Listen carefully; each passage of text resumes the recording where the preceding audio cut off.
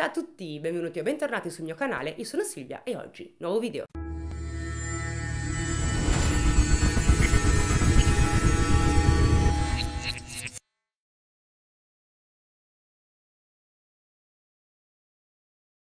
Vi ricordo che se avete piacere potete seguirmi su Instagram, ma soprattutto vi ricordo che è uscito il mio shop. Vi lascio tutte le informazioni qui sotto nell'info box.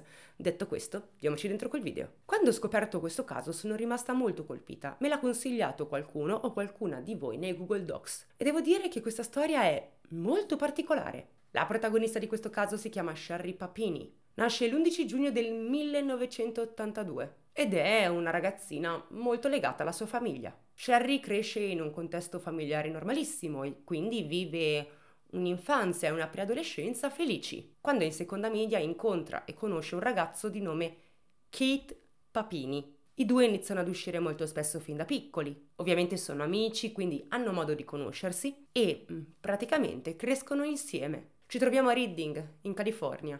Kate e Sherry, quando crescono, mm, si mettono insieme e decidono di andare a convivere. Quando inizia la convivenza, però, iniziano anche i problemi. I due litigano spesso e Sherry alla fine lascia Kate per poi sposarsi con un altro ragazzo nel 2006. Ma in questa relazione le cose iniziano a peggiorare davvero in poco tempo e Sherry si ritrova a parlare di nuovo con Kate. Ben presto, dunque, Sherry divorzia e per l'appunto torna a vivere con Kate. Nel 2009 Sherry e Kate si sposano e dall'esterno sembrano una coppia perfetta. I due vanno molto d'accordo, passano un sacco di tempo insieme, e si amano molto. A quanto pare i problemi che avevano avuto quando erano stati insieme la prima volta non si sono ripresentati, quindi sono cresciuti e sono maturati, imparando dai loro errori. Il tempo passa, per l'esattezza passano sette anni e sono sette anni sereni, felici. Poi ecco che arriva il 2016. Sherry e Kit a questo punto hanno messo al mondo due figli, una bambina di nome Violet che ha due anni e un bambino di nome Tyler che ha quattro anni.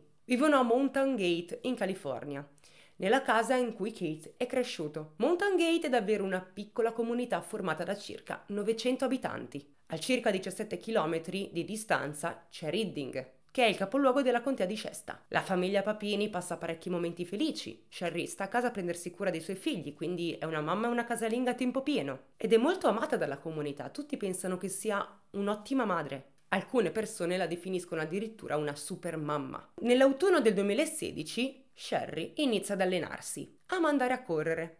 Dovete sapere che la famiglia Papini vive in un bellissimo quartiere nel nord della California. Arriviamo quindi al 2 novembre 2016. Kate, quella mattina, saluta tutti, come al solito, ed esce di casa per andare a lavorare alla Best Buy, una multinazionale americana al dettaglio di elettronica, con sede a Richfield, nel Minnesota. Verso le 11 di quella stessa mattina, Sherry decide di uscire per andare a fare una corsetta. Indossa quindi la sua giacchetta da corsa ed esce di casa. La famiglia Papini vive in una zona abbastanza tranquilla, i vicini sono pochissimi, quindi nessuno vede Sherry. Sherry sta correndo, si trova tra la Sunrise Drive e la Old Oregon Trail. Poi, di colpo, vede tutto nero, non capisce cosa le stia succedendo. Intanto passano le ore e Kate torna a casa per le 16.30 e solitamente a quell'ora tutta la famiglia è già a casa, sia i suoi figli che sua moglie. Quindi apre la porta di casa, chiama i suoi figli e sua moglie, ma nessuno gli risponde.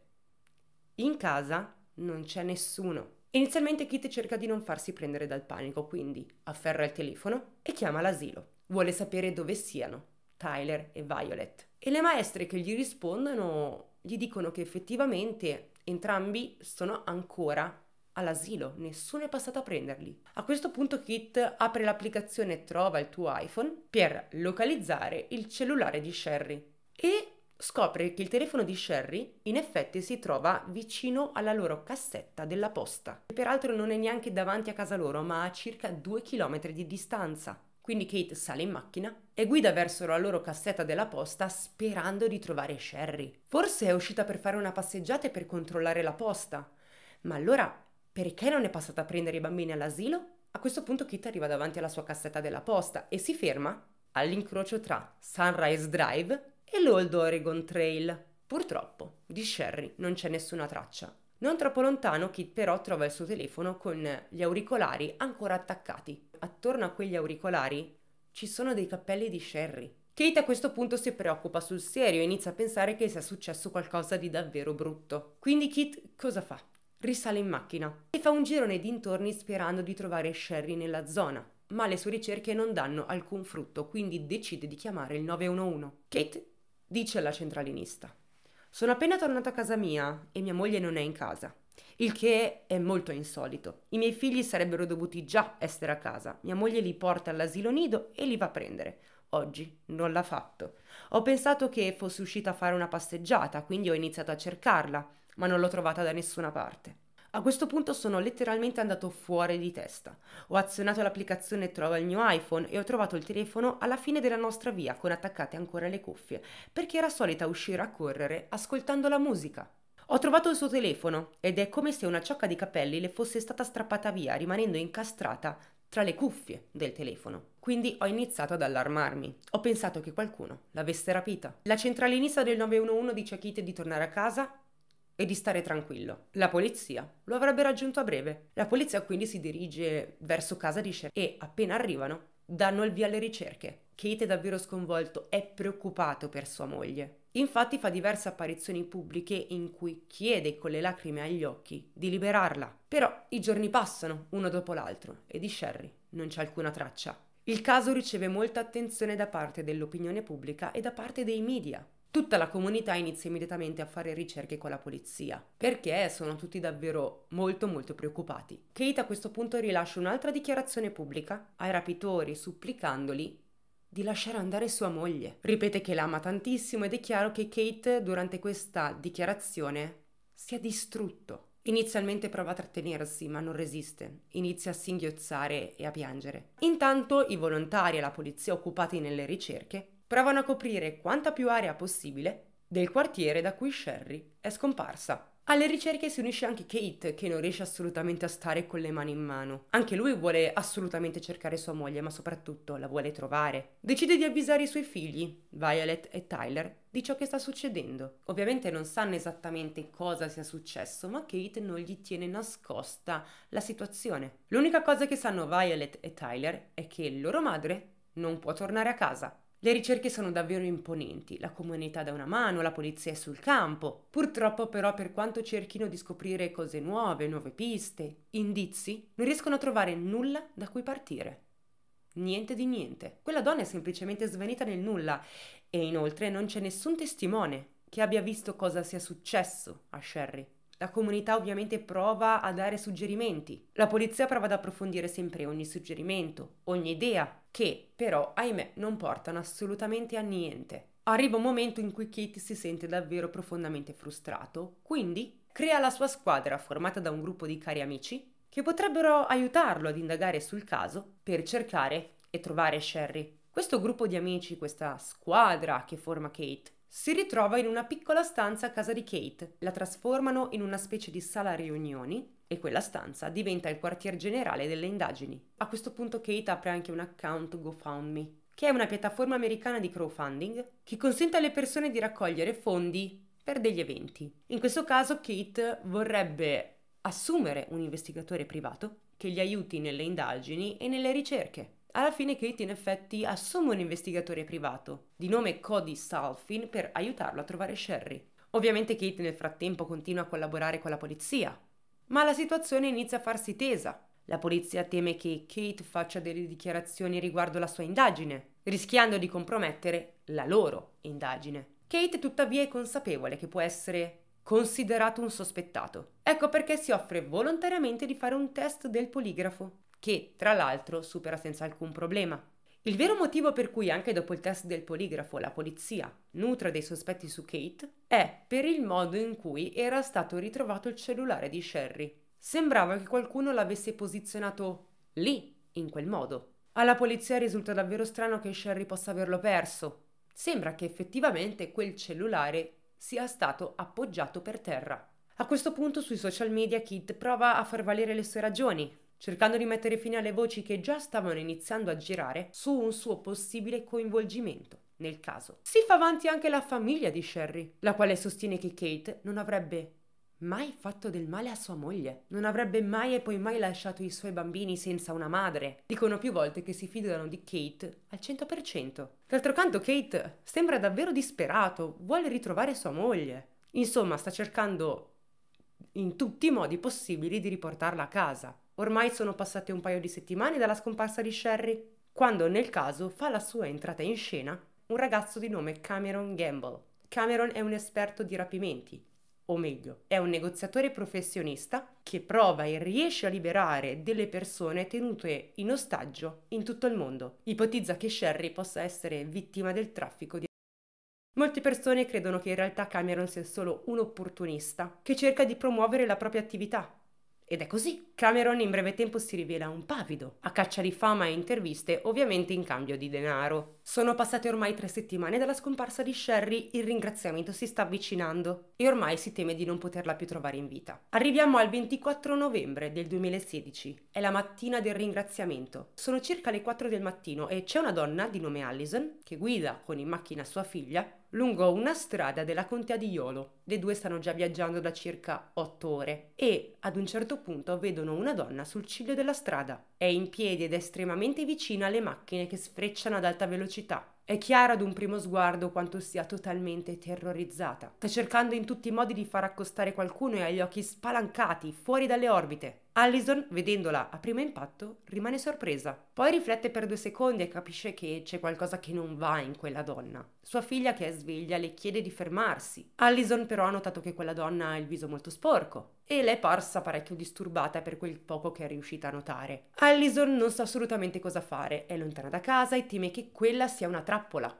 D'altronde sono le 4 del mattino, è ancora molto buio. La donna quindi continua a guidare nonostante sua figlia insista perché si fermi per prestare soccorso a quella donna. Allison però non se ne va, semplicemente accosta la macchina un pochino più avanti, si ferma e chiama il 911 senza scendere dal suo veicolo. Allison, come vi ho detto precedentemente, è nella contea di Iolo. Il dipartimento di polizia riceve la chiamata e quindi si muove velocemente per raggiungerla. Tuttavia la donna è molto preoccupata, ha sua figlia in macchina, quindi decide di ripartire, di non rimanere lì ad aspettare l'arrivo della polizia. E d'altro canto la centralinista del 911 le assicura che la polizia sarebbe presto arrivata per assicurarsi che quella donna stesse bene. Quindi arriva la polizia e quella donna terrorizzata è proprio Sherry Papini. Sherry è a 240 km da casa e sono trascorsi ben 22 giorni dalla sua scomparsa. Ellison aveva sostenuto che Sherry avesse il viso sporco, se ricordate. Quella però non era sporcizia, bensì lividi. Sherry è coperta di lividi, ha tanto sangue secco addosso ed è stata incatenata. Ha ancora una catena intorno alla vita che si collega ai suoi polsi con delle fascette stringicavo ha pochi vestiti addosso, inoltre sono rotti, malconci, ma soprattutto sono abiti estremamente leggeri. Per l'esattezza indossa un paio di pantaloncini e una maglietta bianca. Quegli indumenti non li indossava assolutamente il giorno della sua scomparsa. Sherry, il giorno della sua scomparsa, era in tenuta da corsa. Ma soprattutto è dimagrita tantissimo. Inoltre Sherry è stata ripresa da una telecamera di sicurezza e la polizia, quando visiona il video, vede Sherry che corre verso una chiesa locale. Si ferma un attimo, poi rincomincia a correre freneticamente verso la casa di qualcuno, probabilmente per chiedere aiuto. Non ricevendo risposta, Sherry, sempre in preda al panico, corre verso la strada per cercare di fermare qualche automobilista. Sherry dice alla polizia che era preoccupata perché le persone non l'aiutavano. Temeva che il problema fosse il fatto che avesse addosso delle catene. Forse la scambiavano per qualche carcerata fuggita da qualche prigione. La polizia in ogni caso si rende conto dello stato in cui versa la donna. È ferita. Di conseguenza chiamano un'ambulanza che trasporta Sherry in un ospedale vicino per essere visitata. C'è però un problema perché la prima cosa che chiunque prova a chiederle dopo aver visto le sue condizioni è ma chi ti ha fatto questo? Chi ti ha ferita così? Come ti sei fatta così tanto male? E ahimè Sherry non ricorda praticamente nulla di ciò che ha subito in modo chiaro. Non ricorda cosa le sia successo, in realtà riesce a malapena a parlare. Il trauma più importante che riporta Sherry è quello al naso perché ce l'ha rotto. La sua faccia è piena di lividi, così come tutto il suo corpo. Il punto è che non sono lividi freschi, bensì sono lividi sopra ad altri lividi semiguariti, sopra ad ulteriori lividi. Questo vuol dire che Sherry è stata picchiata davvero a lungo e selvaggiamente. I suoi capelli biondi, lunghi, le sono stati tagliati appena sopra le spalle e si vede che in pratica gli hanno preso delle ciocche di capelli a casaccio così per poi tagliargliele in questo modo, probabilmente come segno di umiliazione. Inoltre è rimasta legata per un bel po' di tempo. Riporta infatti dei profondi solchi anche sul collo, come se qualcuno l'avesse legata ad un gancio attaccato al muro con una fascetta stringicavo. Sherry ha anche un marchio sul corpo, più precisamente dietro la spalla. Quel marchio è totalmente coperto da una crosta e gli investigatori non hanno mai reso noto di che tipo di marchio si tratti. Ma insomma la cosa è alquanto inquietante. E qui c'è una domanda. Perché marchiarla in questo modo? Solitamente un gesto del genere, ovviamente portato all'estremo, ha solo una finalità, ossia il possesso. Ti marchio, quindi sei mia, ti possiedo, faccio di te quel che voglio, ti do da mangiare quando voglio e cosa voglio, e se mi va, ti picchio pure quanto mi pare, perché a questo punto sei marchiata, sei di mia proprietà. Ovviamente le autorità prelevano dei campioni di DNA dai vestiti e dal corpo di Sherry e i risultati riveleranno la presenza del DNA di una donna e la presenza del DNA di un uomo. Nel frattempo chiamano anche Kate dall'ospedale, gli dicono che sua moglie è viva, sta bene ed è ricoverata in ospedale perché è ferita. Quindi Kate va all'ospedale e finalmente riabbraccia sua moglie. Ci vorranno mesi perché Sherry riesca a ricordare ciò che ha vissuto in quei 22 giorni di prigionia. Man mano che passa il tempo le riaffiorano i ricordi, ma non riesce fin da subito a ricordare i dettagli di ciò che le è accaduto. È vero, Sherry ci mette parecchio a ricordare, ma si tiene sempre in contatto con la polizia. Va sempre a rilasciare dichiarazioni. Appena si ricorda anche solo di un piccolo dettaglio, lo fa sapere allo sceriffo della contea perché il fine a questo punto è quello di catturare chi le ha fatto del male, chi l'ha rapita perché resta ancora una persona libera. Presto viene annunciato anche al pubblico che Sherry è stata ritrovata. E ovviamente le persone sono sollevate. La sorella di Sherry, che di nome fa Sheila, rilascia una dichiarazione a nome di tutta la famiglia, ringraziando la comunità per il loro aiuto, per l'aiuto delle forze dell'ordine e infine per aver riportato a casa Sherry sana e salva. Come già vi ho detto, man mano che il tempo passa, Sherry inizia a ricordare. E quindi ogni volta che le riaffiora un ricordo, si dirige dalla polizia per rilasciare nuove dichiarazioni. La donna descrive i suoi rapitori, anzi le sue rapitrici, come due donne ispaniche, che parlavano principalmente spagnolo, quindi Sherry non capiva assolutamente nulla di ciò che dicevano. Ricorda vagamente l'aspetto di entrambe. Dice che una donna aveva dei grossi orecchini tondi, dei capelli ricci e infine aveva delle sopracciglia molto sottili. Ma per la maggior parte del tempo queste due donne si coprivano il volto, e per la maggior parte del tempo Sherry aveva una borsa di stoffa calata sul viso, che, ahimè, le impediva di vedere qualsiasi cosa. La donna, dice Sherry, aveva più o meno dai 20 ai 30 anni mentre l'altra era più anziana, forse aveva dai 40 ai 50 anni. La seconda donna aveva dei capelli lunghi, lisci e scuri e delle sopracciglia folte. Nel periodo in cui è sparita Sherry è rimasta rinchiusa in un piccolo scantinato sporco. La donna, ormai libera, racconta che i suoi figli le erano mancati così tanto che in un momento di sconforto aveva preso un pezzo di stoffa, l'aveva arrotolato facendo un fagotto e aveva iniziato a cullarlo fingendo che fosse sua figlia Violet. Questo è tutto ciò che Sherry riesce a ricordare e sono delle informazioni effettivamente limitate. La domanda però per quanto mi riguarda emerge più prepotentemente delle altre. Perché Sherry è stata liberata? Sherry racconta che il giorno in cui l'avevano lasciata andare aveva sentito chiaramente le due donne al piano di sopra discutere. Poi aveva sentito il rumore di uno sparo e infine, poco dopo, una delle due donne era andata a prenderla per trascinarla in macchina e lasciarla libera a circa 240 km da dove l'avevano rapita. Sherry ovviamente era sotto shock e non riusciva a credere di essere stata liberata. Aveva iniziato a camminare alla cieca perché ancora aveva la borsa calata in testa, davanti agli occhi. Quindi aveva provato a camminare cercando di sfilarsi quella borsa dalla testa. Le gambe le facevano un male terribile, ma finalmente, quando era riuscita a capire dove si trovava, ossia su una strada, aveva iniziato a correre. Poco dopo aveva visto che vicino a quella strada c'era un piccolo centro abitato, quindi era corsa verso la chiesa e poi verso la casa di qualcuno. Non ricevendo aiuto aveva deciso di tornare sulla strada per cercare di fermare qualche automobilista. Era proprio in questo momento che Allison l'aveva notata all'autostrada e quindi aveva chiamato la polizia. Sherry ovviamente è felice di essere tornata a casa con i suoi bambini e felice di poterli riabbracciare. Il problema a questo punto diventa l'opinione pubblica che ha ancora moltissime domande su questo assurdo rapimento, che pare davvero privo di senso e a questo punto le voci e le malelingue iniziano davvero a girare. Altre persone non pensavano male di Sherry, ma avevano parecchie domande senza risposta su questo caso. E avere domande o dubbi credo sia lecito. Anche io mi chiedo perché abbiano rapito Sherry per poi farla tornare a casa 22 giorni dopo senza alcun motivo. Ed è la stessa identica domanda che si fa anche la polizia, perché qui obiettivamente non vi è alcun movente. Forse se Sherry avesse potuto comprendere le parole che si scambiavano queste due donne, avrebbe anche compreso il loro piano. Purtroppo parlavano in una lingua a lei sconosciuta e quindi non è mai riuscita a capire nulla.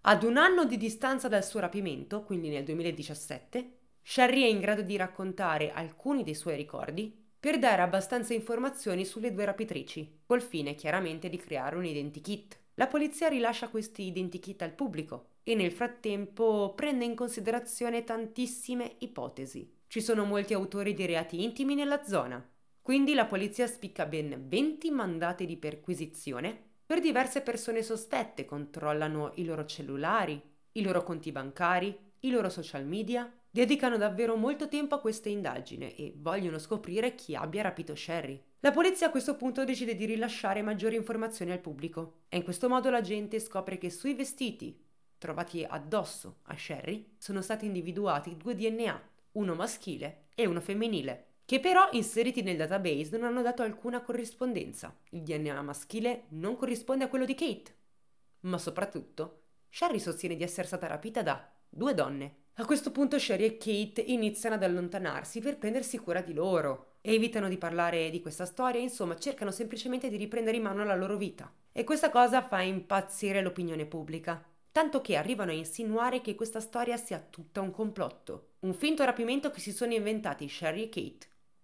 Con che fine? Non è assolutamente chiaro. Nello stesso periodo la polizia rilascia altrettante informazioni. Dicono che prima della scomparsa Sherry aveva una relazione tramite messaggi con un altro uomo di Detroit, nel Michigan. La polizia quindi una volta appreso questo fatto spicca ben 12 mandati di perquisizione per questo uomo in Michigan. A questo punto l'opinione pubblica si chiede perché la polizia non abbia condiviso queste informazioni fin dall'inizio. A quanto pare Sherry conosceva questo uomo da anni. Avevano appena ricominciato a sentirsi tramite messaggi proprio nel periodo della sua scomparsa. I due avevano continuato a parlare regolarmente fino alla fine di ottobre 2016. Sherry era sparita nei primi giorni di novembre del 2016. Tuttavia nessuno ha spiegato la natura della loro relazione. Nessuno ha mai pubblicato neanche uno dei messaggi che si sono scambiati. Ma pare che Sherry avesse intenzione di incontrare questo uomo di persona. Questo uomo però era stato indagato ed era anche stato scagionato da qualsiasi coinvolgimento nella scomparsa di Sherry. L'opinione pubblica ormai crede che Sherry abbia inscenato per qualche motivo il suo rapimento. E non lo pensano solo le persone.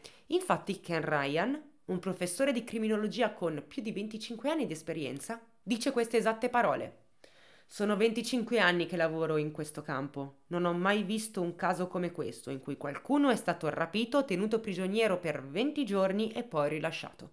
Niente di tutto ciò ha senso. Molte persone a questo punto chiedono alla polizia di sottoporre Sherry al test del poligrafo. La polizia però non prende neanche in considerazione quest'idea. Non vogliono che la vittima di un rapimento faccia il test del poligrafo. Gli investigatori pare siano dalla parte di Sherry, e a questo punto, oltre a sottolineare le cose ambigue che in questo caso non tornano, e non sono poche, è necessario sottolineare anche un altro aspetto dell'opinione pubblica, perché a mio avviso le cose non sono chiare da qualsiasi prospettiva le si guardi. Molti trovano assurdo che Sherry abbia inscenato il suo rapimento senza un motivo logico, senza ottenere nulla in cambio, e lo penso anche io. Inoltre, se ricordate, è stata marchiata a fuoco sulla spalla, ed è impossibile che si sia marchiata a fuoco da sola. Allison, la donna che aveva trovato Sherry sul ciglio della strada, rilascia un'intervista dicendo che non c'è nessun motivo per non credere alla storia di Sherry. Lei l'ha vista, era terrorizzata e non dubita affatto della sua storia. Nel 2020 Sherry e Kit rilasciano una dichiarazione al New York Post tramite il loro addetto stampa, che dice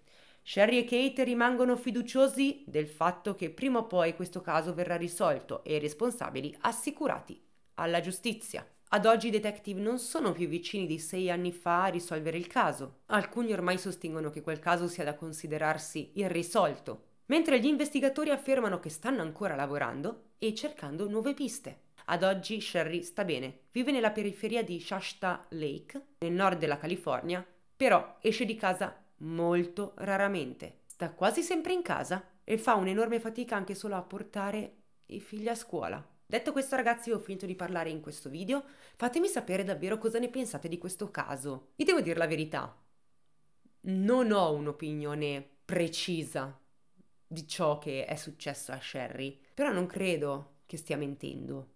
Io non credo che abbia finto il suo rapimento. Però è chiaro che ci sono delle cose che non tornano, quindi fatemi sapere quello che pensate qui sotto nei commenti, non vedo l'ora di leggervi tutti. Nel frattempo vi mando un bacione, noi ci vediamo prestissimo al prossimo video, mi raccomando fate i bravi, continuate a mangiare le verdure che continuano a far bene, ma soprattutto prendetevi cura di voi e fate ciò che vi rende felici, basta che non fate nulla di criminale. Ciao a tutti!